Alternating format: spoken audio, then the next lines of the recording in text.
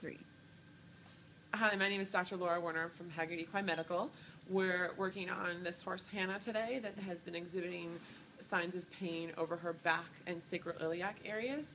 We're going to treat her with extracorporeal shockwave therapy, which is a treatment that's very similar to what they use for lithotripsy in humans to break down kidney stones.